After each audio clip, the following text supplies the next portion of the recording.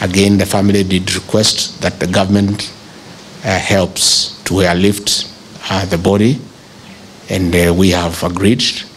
And uh, Kenya, the, the, the Kenya Defense Forces will provide a military helicopter to take the body home together with members of the family on the Friday preceding the Saturday burial.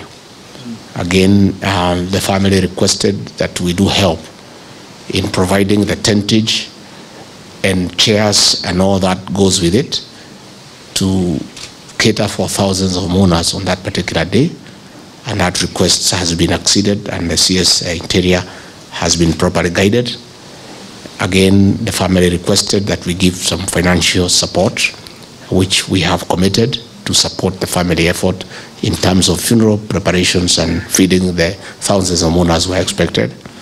Over and above, our Department of Special Program will also provide food uh, for the family and the mourners.